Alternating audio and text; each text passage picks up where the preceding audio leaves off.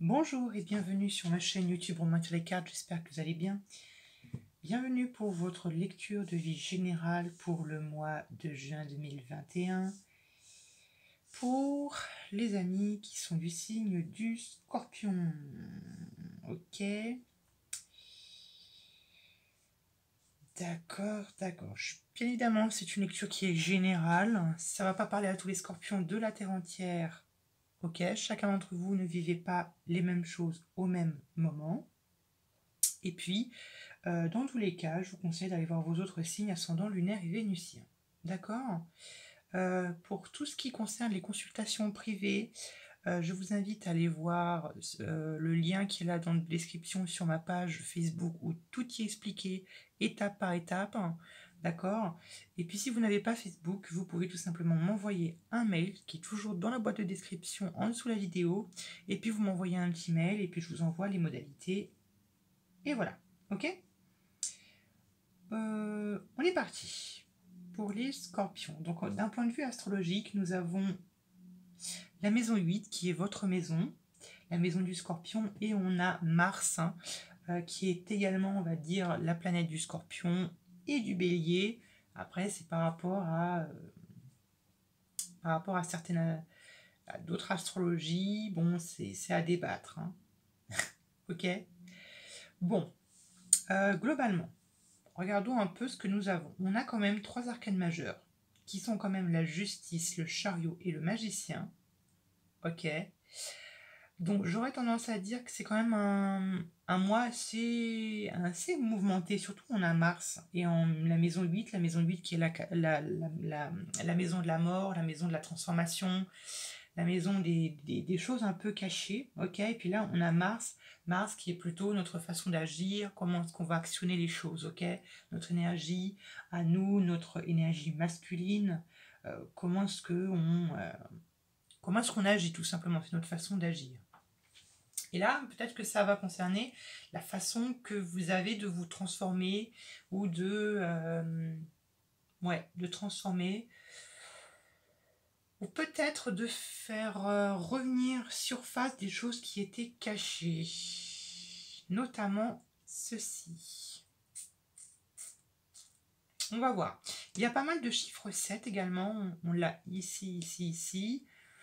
Euh, donc j'aurais tendance à dire que cette lecture va avoir, on va dire, une continuité avec le mois de juillet, ok? Ou du moins, ça peut faire référence, ça peut tout simplement être une préparation, être un peu une mise en bouche pour le mois de juillet qui peut euh, être important. Ok? Bon, on est parti, on y va, on commence.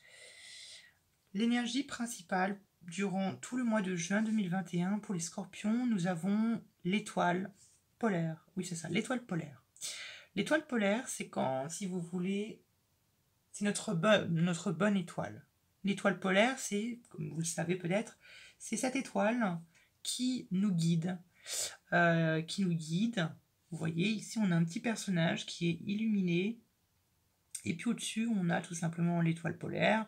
Il y a cet homme qui se dirige, qui s'oriente par rapport à cette étoile pour trouver un peu son chemin. C'est un peu ça. Et vous voyez, ça fait très écho à hum, ce que vous avez peut-être vécu. Pour certains d'entre vous, on avait vu ça au mois de mai. Euh, le mois passé, vous étiez peut-être un peu dans une phase un peu sombre. Et là, vous voyez, vous, cherchez un peu votre, euh, votre étoile polaire, et puis vous vous laissez un peu guider, et euh, vous vous laissez guider tout simplement. Et l'étoile polaire, je pense que ça a peut-être un rapport tout simplement avec vos rêves, vos ambitions. Ce que vous ambitionnez dans la vie, euh, dans votre vie quotidienne. Ok? Après, l'étoile polaire, ça peut être vos espoirs. Ce que vous espérez, c'est ce qui vous rend vivant, c'est ce qui vous rend, c'est ce qui vous maintient en vie, c'est quelque chose qui est peut-être même vital pour vous. Ou du moins, c'est quand vraiment, l'étoile, c'est vraiment quand on a un espoir qui nous tient à cœur. Moi, je vois plutôt ici comme ça. Vous m'en direz des nouvelles?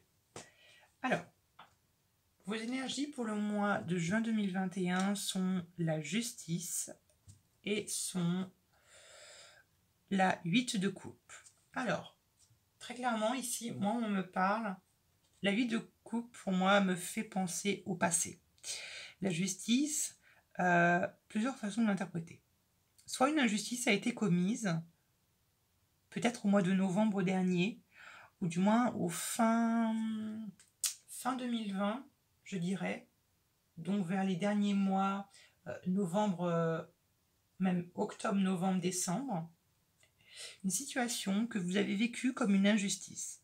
Alors attention, quand je parle d'une injustice, c'est d'une injustice de vos yeux à vous. Hein. On n'a pas cette même notion de justice ou d'injustice, d'accord? Mais pour vous, vous avez été trahi, peut-être vous avez été trahi, pardon, et que vous avez, euh, et peut-être que ici, pour le mois de juin, vous essayez de mettre un peu les pendules à l'heure, ou vous essayez un peu de rééquilibrer les plateaux de la balance, et donc vous essayez un peu de, de remettre un peu ça sur la table, de régler ça une bonne fois pour toutes, et après, partir vers une nouvelle route pour ensuite prendre un nouveau départ. Première interprétation. Deuxième interprétation, il se peut tout simplement que ce soit un équilibre, que vous reprenez un équilibre émotionnel avec la 8 de coupe par rapport à une situation du passé ou par rapport à des émotions, par rapport à des émotions que vous avez vécues dans votre passé, peut-être d'injustice ou de blessure ou d'une situation euh, autre. Ok? Troisième interprétation, il se peut tout simplement que c'est euh, vous pouvez passer devant la justice, effectivement. Ça pouvait être un divorce, un rapport avec le passé, un mariage, je ne le pense pas. Désolée, non, le, je ne pense pas. Euh, mais moi, je vois ici un peu comme des, règlements de compte, un peu comme si on réglait des choses qui n'ont pas été réglées dans le passé. Et ici, ce qu'on fait, c'est que on règle nos, on règle ce qu'on a à régler, puis après, on part à la recherche de notre neuvième coupe, c'est-à-dire nos rêves, nos ambitions, tout ce qui nous rend vivants. Et en fait, finalement, ben en fait, la neuvième coupe, c'est votre étoile polaire. Donc, ce que vous faites, en fait, c'est un peu, vous faites un, pèlerinage et vous allez vers euh, la, la neuvième coupe. Ok? Comment C'est un peu comment je l'interprète. Donc, soit ça peut être un équilibre émotionnel, Soit ça peut être un choix que vous devez faire par rapport à une situation du passé qui, je vois, peut avoir un rapport avec le mois de novembre 2020, avant, ou fin d'année 2020, qui est un peu, euh, revient un peu sur le tapis parce que vous l'avez décidé. Hein. Je vous rappelle, vous avez Mars en maison 8, c'est vous qui décidez de remettre ça sur le tapis et de régler euh, vos comptes, de régler les choses. Ok? Voilà. Mais encore une fois, vous n'avez pas peur parce que vous êtes protégé avec l'étoile. Ce que vous voulez le plus pour le mois de juin 2021, c'est le page de coupe, c'est-à-dire que vous voulez un nouveau départ d'un point de vue de vos émotions. Plusieurs façons de le voir. Moi, moi ici, comment est-ce que je le perçois? Moi, j'ai l'impression que vous voulez démarrer quelque chose qui vous tient à cœur. Vous voulez commencer à quelque chose qui vous tient à cœur. Ça peut être une relation, ça peut être un projet, ça va être une collaboration, ça peut être dans le travail, ça peut être euh, une, relation amicale, ça peut être euh, des excuses, ça peut être euh, un pardon, ça peut être quelque chose comme ça que vous essayez de démarrer, qui vous tient vraiment à cœur. Ça, vraiment, ça touche vraiment vos émotions. Ok? Ça, c'est une première interprétation. Deuxième interprétation, vous pouvez être tout simplement ce page vous pouvez endosser ce page, c'est-à-dire d'être un peu cette personne, un peu enfantin ou enfantine, d'être un peu euh, euh, comme une fleur, donc un peu fragile, un peu, un peu romantique, un peu euh, romantique, un peu dans les nuages, un peu dans les rêves, un peu on est dans, dans nos rêves, nos ambitions. Mais vous avez vu, ça touche beaucoup, ça touche beaucoup vos rêves, vos ambitions. Euh, ce que vous ambitionnez dans la vie. Hein. Vous avez le page de coupe, vous avez l'étoile et vous avez la 8 de coupe qui me font très certainement penser à ça. Ok? Euh, Ici, je pense pas que ce soit un... Ici, je pense pas que ce soit un personnage. Je pense pas que ce soit un personnage. Euh, dans tous les cas, je dirais que c'est vraiment pour moi, je pense que vous commencez quelque chose de nouveau. J'ai très envie d'en remettre une sur ce page de coupe. J'ai oublié pardon, de préciser qu'avec en dos de deck, on avait la 2 de bâton que je laisse de côté. Je vais en mettre une sur le page de coupe. Page de coupe, page de coupe, page de coupe. Hop là Ouais. D'accord. Euh, avec ce page de coupe, on a quand même le pape. On a le pape. Donc, disons que c'est fou parce que c'est... Excusez-moi. Tout ça, ça me fait penser, c'est très spirituel. Parce que vous avez vu, on a l'étoile et on a le pape, qui me fait penser que non seulement vous essayez et vous vous laissez guider par vos guides, euh, moi ici, le pape, je vois comme les guides, comme vos guides, vos anges, vos anges gardiens, vos, peu importe comment est-ce que vous les appelez, vos, votre famille, votre, euh, votre fratrie, votre, votre tribu, peu importe comment est-ce que vous le, vous le percevez, mais c'est quelque chose que vous avez senti. Vous avez senti qu'il fallait que vous démarriez quelque chose. Ça peut être ça, ou ça peut être un nouveau départ d'un point de vue peut-être de vos dons spirituels si vous en avez, ou d'un point de vue de l'Église, euh, si vous, je ne sais pas, vous essayez de vous reconvertir dans une religion ou de vous reconvertir dans la spiritualité, ça se peut, euh, quelque chose comme ça. Mais c'est quelque chose que vous voulez pas forcément d'original, c'est vraiment, vous voulez quelque chose qui qui ne sort pas forcément des, sentiers battus, vous, vous en voulez pas des mille et des cents, je le ressens comme ça. Ok? Ce qui va vous aider à obtenir ce que vous voulez le plus, c'est l'assise de bâton. C'est-à-dire de croire en vous. De croire en vous, euh, et tout simplement, de, oui, de croire en vous, et de savoir, et de, comment dire, de croire en vos capacités, avec Mars, euh, de croire en vos capacités et de ne pas être défaitiste, d'être au contraire plutôt euh, optimiste. Généralement, l'assise de bâton, c'est la victoire. Mais ici, on ne vous dit pas qu'il faut que vous... Comment dire On ne vous dit pas forcément qu'il faut que vous euh, vendez la peau de l'ours avant de l'avoir tué. Ici, ce qu'on vous dit, c'est d'avoir euh, cette âme de vainqueur, cette âme, euh, cette affirmation, de croire en vos capacités, de croire à tout ce que vous, vous pouvez faire pour poursuivre, pour poursuivre ce, nouveau, ce nouveau projet ou cette nouvelle relation, peu importe qui est plutôt sain, hein, c'est sain, hein, c'est une relation qui est saine euh, pour vous, ça vous fait du bien. Euh, voilà, je vois plutôt comme ça ici. Ok Ce qui va vous empêcher d'obtenir ce que vous voulez le plus, eh ben, c'est d'être défaitiste. C'est de ne pas croire en, vos capacités. C'est d'avoir ce manque de confiance en vous. C'est avoir, cette perte de motivation, cette perte de volonté. C'est d'avoir... Euh, cette, ouais, cette perte de confiance ou ce manque d'énergie ou ce manque de vitalité.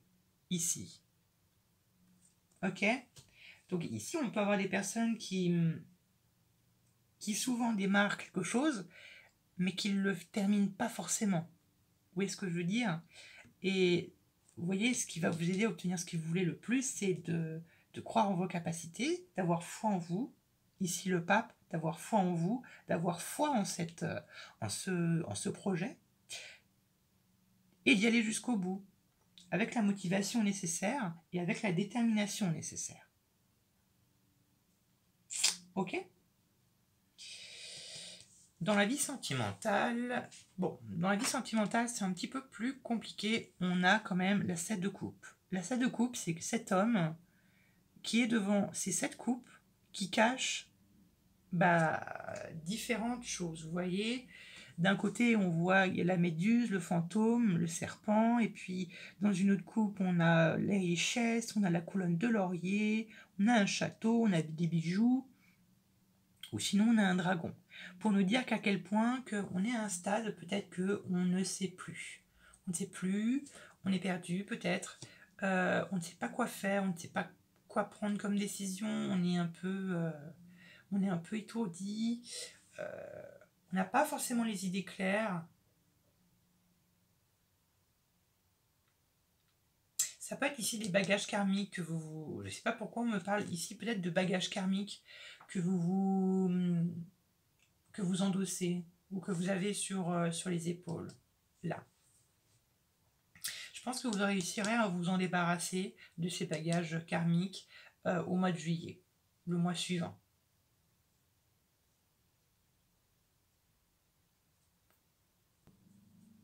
Alors, ça, peut être également, une, euh, euh, rupture sentimentale.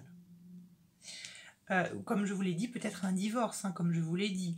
Mais alors attention, si dans votre couple tout va bien, qu'il n'y a aucun problème, ça ne veut pas dire pour autant qu'au mois de juin vous allez vous rompre. Hein. C'est pas ça du tout, ou vous allez divorcer. Mais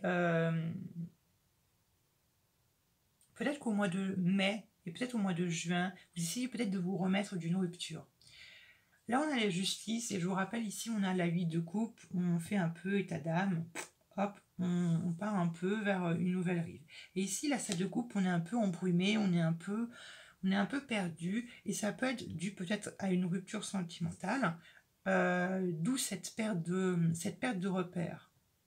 Peut-être qu'ici, tout simplement, vous avez perdu vos repères, et que vous n'avez plus vos marques, euh, et du coup, c'est plus compliqué. Ça peut être ça. Et donc, du coup, peut-être pour ça que vous essayez un peu de vous reconnecter à l'univers, au monde invisible, pour un peu vous laisser guider, parce que pour vous, c'est un peu. Euh, vous nagez un peu dans. Vous nagez dans la soupe. je sais pas pourquoi, je sais pas pourquoi euh, je dis ça, mais euh, ouais, vous nagez un peu dans la soupe, vous ne savez trop où aller, ou trop quoi faire. Ok? Alors peut-être qu'aussi pour les couples, euh, peut-être que pour les couples, pour les personnes qui sont en couple, peut-être que vous voulez trop de choses à la fois. Peut-être que vous avez envie de trop faire de choses à la fois. Je ne sais pas, de faire un voyage, de vous marier, d'avoir des enfants, d'avoir une voiture, ou je, ne sais quoi autre. Et peut-être que vous avez du mal à choisir entre hum, un projet plutôt que l'autre. Ça peut être ça finalement, ce page de couple. Ça peut être, je ne sais pas, euh, on commence un peu à... Par exemple, on prépare un voyage, parce que ici je vois le chariot. Euh, ça peut être, voilà, on, prépare un voyage et puis finalement, on finit par abandonner au bout d'une ou deux semaines. Ça peut être quelque chose comme ça. Voilà, donc ça peut être ça, trop de choses, trop d'options qui, s'offrent à vous et que vous êtes obligé un peu de sélectionner les choses, de sélectionner vos envies ou de sélectionner euh, vos rêves ou de les, de les hiérarchiser. D'accord? Ici, dans la vie professionnelle et financière, on a le chariot. Bon, j'ai envie de dire, sans mauvais jeu de mots, ça roule comme des roulettes. 1, 2, 3, ça roule comme sur des roulettes. Ça roule, ça va, on fonce. Euh, le chariot nous montre de la, victoire, nous, montre de la, de la richesse. On nous montre que vous êtes droit, que vous êtes bien droit dans vos bottes et que vous savez, euh, vous êtes déterminé, que vous savez vers quoi aller. Euh, ça peut être également des déplacements que vous pouvez être amené à faire pour votre travail, ou peut-être que si, voilà, ça peut être un retour en présentiel hein, pour euh, les personnes qui étaient, en, qui étaient peut-être en télétravail au, mois précédent, au mois de mai, ça peut être un retour au travail, hein, ça peut être ça.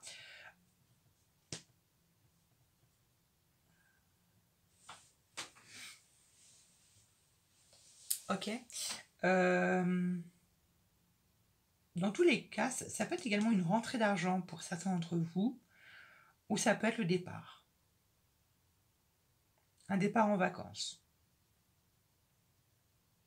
Je dis pas un départ ou euh, quitter l'entreprise, je, ne pense pas. Mais c'est une très bonne énergie qui nous, qui nous invite à avancer, à rester euh, fixe sur euh, nos, objectifs, sur nos rêves, sur nos ambitions, d'éviter un peu de regarder sur les côtés, d'éviter d'être un peu dissipé ou d'être un peu déconcentré de notre objectif et de ne pas regarder en arrière. quand je dis en arrière, je parle bien évidemment de votre passé. Ok? Dans votre tête, vous avez le roi de coupe. Donc voilà un peu aussi pourquoi je pense que peut-être certains d'entre vous, vous avez peut-être quitté un homme ou une femme qui peut être d'un signe d'eau comme vous, cancer, poisson, scorpion.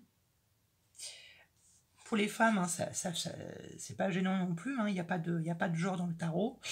Euh, ça peut être ça. Soit vous avez quitté une personne et donc vous y pensez encore, ce qui est tout à fait normal, et que vous essayez durant ce mois de juin et du mois de juillet d'essayer un peu de remettre les pendules à l'heure, de se rééquilibrer, de rééquilibrer un peu votre balance intérieure. Ça peut être ça. Ou sinon, tout simplement, ou peut-être que vous pensez à l'équilibre émotionnel dans votre, euh, dans votre tête. Parce que vous voyez ici, on a un beau...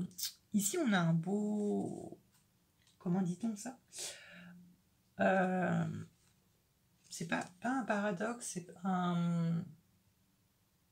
On a une belle confrontation. On a le valet de coupe et on a le roi de coupe. Le valet de coupe qui est plutôt enfantin, qui est un peu rêveur, qui rêvasse, qui est un peu romantique, qui est un peu euh, la tête dans les étoiles, alors que lui, le roi de coupe, bah, il assume. Il assume pleinement ses, pleinement ses émotions, il sait les maîtriser, il sait les stabiliser. Pour lui, ça n'a plus de secret. Il ne se laisse pas avoir, il ne se laisse pas submerger par ses émotions. Donc peut-être que ça, c'est à quoi, c'est ce à quoi vous pensez. Euh, et notamment, pour manifester quelque chose, pour manifester une envie. Et vous voyez, c'est étonnant parce que ici, au-dessus de la tête du magicien, on a le 8. Le 8 qui peut me faire penser au mois d'août. Je ne sais pas pourquoi. Ça me fait penser au mois d'août. Bon, fin, juin 2021, je pense que certains d'entre vous, vous allez manifester quelque chose, faire appel à la loi de l'attraction, à la loi de l'univers, vous allez prier ou je ne sais quoi d'autre, ou peu importe le nom que vous lui donnez, vous allez manifester quelque chose pour le mois d'août.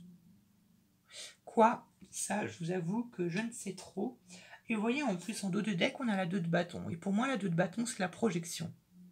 C'est la projection en avant, c'est la projection dans le futur ou du moins, comme, là, ça me fait résonner, ça me fait penser à ça. D'accord? Voilà. Je pense que j'ai fait un peu le tour. Je vous embrasse et puis on se retrouvera plus tard pour de nouveaux tirages.